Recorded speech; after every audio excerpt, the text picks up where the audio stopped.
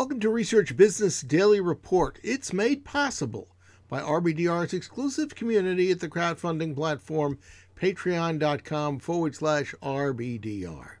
I'm Bob Lederer for 25 years, the respected voice in market research.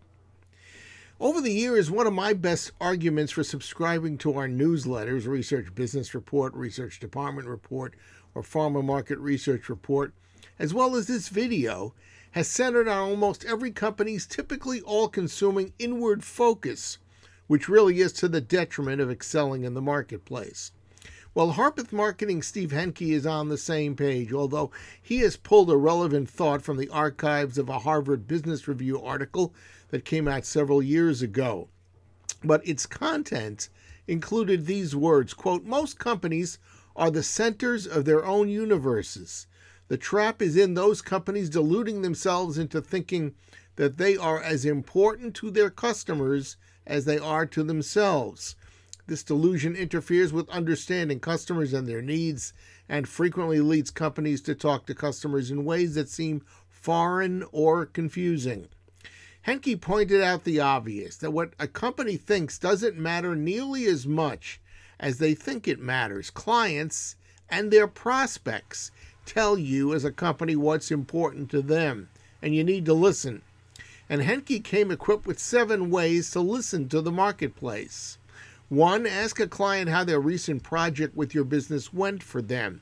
And do it every single time that you complete a project. And don't assume that not hearing back from them means that everything went okay. Two, another survey based idea is to sidestep project specific questions. This is in a separate survey, and instead zero in on queries like why you as a supplier were chosen. Third, visit clients' social media sites to see what's important to them. Fourth, set up Google alerts to bring important companies' news to you. I've got several of those going on for me. Five, join LinkedIn groups where your clients are already members. Good idea. Six, attend conferences that your clients participate in. And seventh, each quarter block off some time on your calendar to reach out to between 5 and 10 of your top clients and go one on one with them concerning what is going on in their businesses and trends that they have spotted and are adapting to. Now, I suspect many companies are doing a good number of these seven already, but it's still a worthwhile list. That's your Research Business Daily Report. It's been made possible by members of our exclusive community on the crowdfunding platform patreon.com forward slash RBDR.